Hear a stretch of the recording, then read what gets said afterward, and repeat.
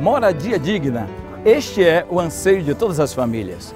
O PMDB já mostrou que sabe fazer. Aqui está o Prosamin, mais de 30 mil moradias para quem precisar.